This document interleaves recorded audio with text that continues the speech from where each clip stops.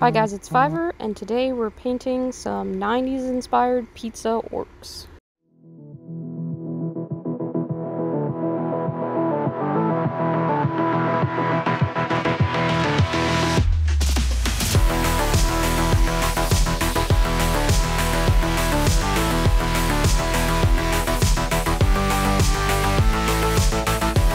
A lot of people have nostalgia for Warhammer, but I didn't grow up with it, so I don't. But um, I'd been watching a lot of videos of people doing retro unboxings and stuff like that, and I do wish that I had known about it earlier and been in the hobby from the start. So, um, thinking about like Age of Sigmar being in the past and stuff like that, um, even old Blood Bowl models, you can see that people were drawing on things that had been a part of their childhood. So I thought I would do the same um, and make some nostalgic orcs. Uh, these are going to be 90s orcs. And the main reason I've done this is because uh, there used to be a movie theater that I loved to go to, and it was full of all the trashy, horrible design choices of my childhood. Um, it had neon all over the walls. It had this funky pattern on the carpet. I would love to have the carpet of my house look the same. How weird as that would be. But uh, when I went back a while ago, they had completely remodeled it, and it looks like this now. Uh, yeah, so, um, in an ode to all those things that you can't get back. Things that are just faded, like old theme park attractions and clothes that have gone out of style or lost footage from films, stuff you really can't get back.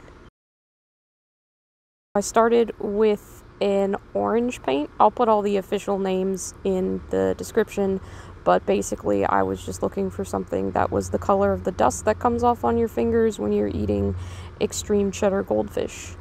Uh, and yeah, I was able to find that color pretty easily. Looks like tau ochre orange is uh, a good a good match for that. Um, so that goes on all over the skin.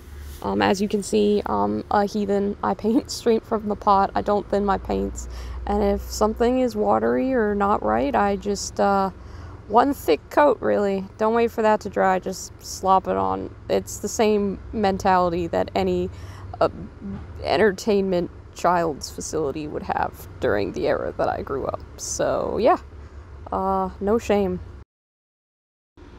Uh, so you do want to take a tan bone color and just kind of go ahead and paint in all the bone um, tan kind of armor parts. That's going to be our base coat for the cup pattern. Uh, pretty much the only thing that gets to be tan is his armor plate and then his little masky thingamabob.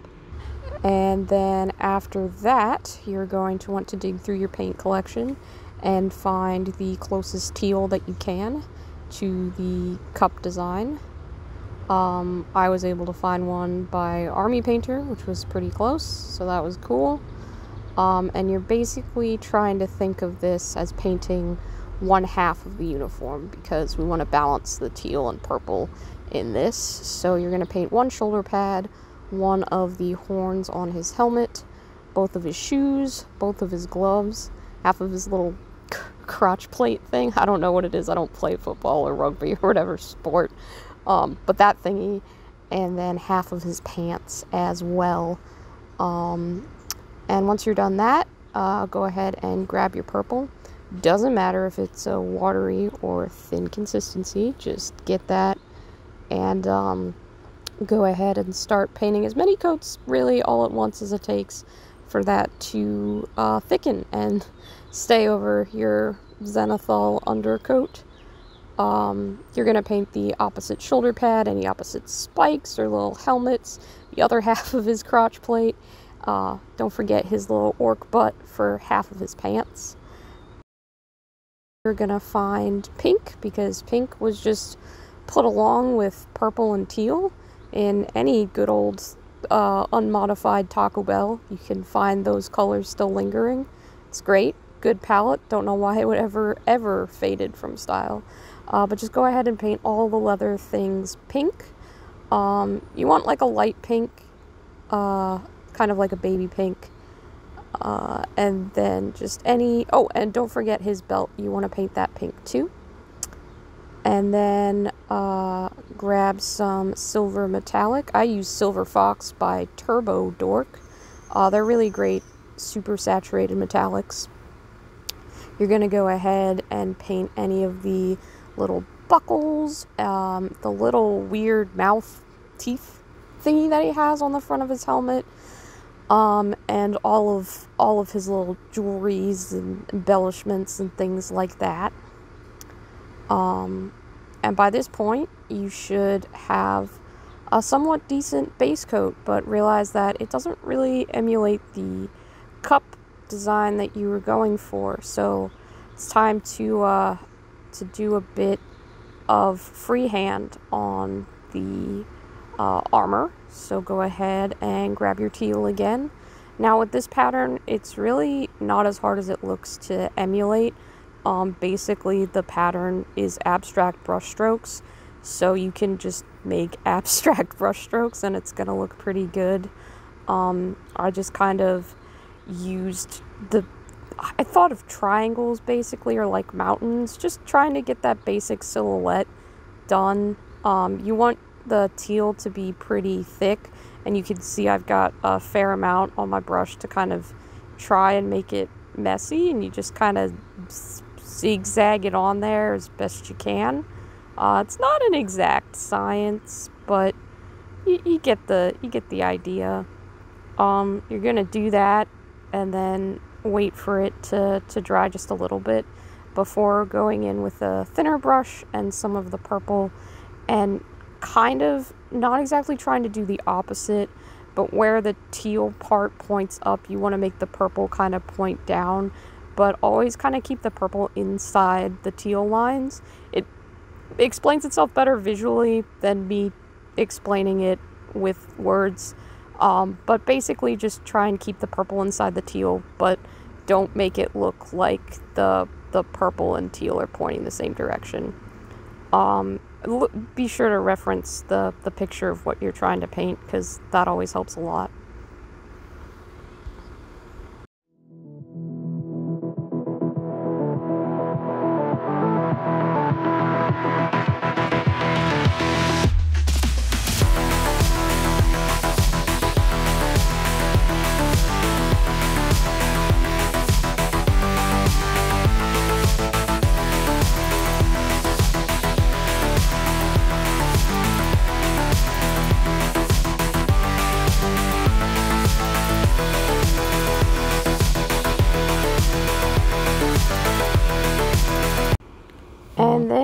Just gonna highlight with a mix of the orange that you used and like a bright yellow color um, to kind of get it a more cheesy look because um, it doesn't look much like pizza just yet but we're gonna get there.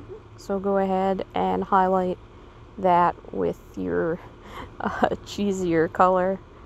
Um, and then let that that dry for just a second before you grab uh, brown. I'm using Skrag Brown um, and start dabbling in some uh, pepperoni shapes because we got to make sure people know he's made out of pizza. Um, they're they're gonna look a little weird. Just sort of dab them wherever. It doesn't matter. We've all seen a cartoon pizza before. Um, so just just do your best. It I'm like if you want to put just put them wherever you think pepperoni should go. Uh, ideally, there'd be pineapple on this pizza too. I'm I'm in the the pineapple fans. Let me let me know if that makes me even more of a heathen than not cleaning mold lines and painting directly from the pot. Uh, but I love pineapple on pizza. But we're going for a bowling alley orc, and that is, comes in two flavors, which is cardboard cheese or cardboard pepperoni. So you pick and you like it and you don't complain because you're a kid in the 90s and it's your weird friend's birthday and you've got to go to their party and yeah so um, pepperonis and then once you're done putting the dots randomly everywhere um, go back with a red and just sort of dot in that over the various pepperonis that you made. Um, just make like three little red dots inside of each bigger brown dot and that'll kind of give you that sort of I don't marbled, splotchy, mottled look that pepperonis have. I don't know how to describe lunch meats, but you get the idea. Um, it, it'll add more detail and it'll look better. So then you just want to go through and do some highlighting now that you've finished.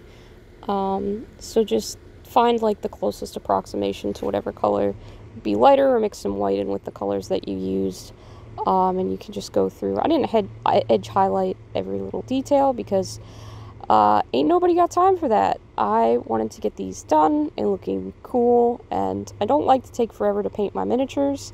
Uh, so just go for it you know? A little bit here and there goes a long way. Don't forget to highlight the orc butts though. That's a very important step. Um, I don't have a recording for it because my camera was super fuzzy and this is the first time I've tried to make a halfway decent video. Literally was using a uh, tea tin for a tripod, so we're pretty high tech here. But uh, also take like a, a, hot pink and just go line the um, pink straps that you painted. Pretty much just try and keep it in the middle and then keep the lighter pink to the sides and that'll basically look like you edge highlighted the leather strap without having to do any of the work of edge highlighting. Uh, life hack right there. And once you're done with the highlights, uh, the only thing you have left to do is give your orc a wash. So just go mm-hmm. ahead and wash everything with uh, my favorite wash. Uh, I just slather it on like barbecue sauce on a rib, man. Seraphim Sepia goes on everything. But in this case, try to keep it only on the pizza parts. If it gets somewhere else, it doesn't really matter. Um, like I said, the owner of the bowling alley that would have produced these orcs is not going to go back and check his work for mistakes. We are getting these done, getting them game ready. That's the goal. Um, and they'll still look pretty good, even if they're a little weird. They're already weird. They're 90s orcs. Nobody cares. Uh, once you're finished, uh, applying barbecue sauce to your pizza, go ahead and grab everybody's favorite Nuln oil and put that just a little bit on the gloves, a little bit on the pants, and then um, his face mask thingy, anything that's metal, also get some Nuln oil. Try not to get it all over his chest plate though, because that's going to look um, weird and it's going to mess up all that freehand that we did. And now the only thing left to do is uh, snap them off his temporary base, get him on a good one, apply any of the Blood Bowl decals that you might have lying around. Uh, we're going to make him number 5 uh, for obvious reasons, and then give him a little label on his base. And then he is all ready to go. Here is the final orc.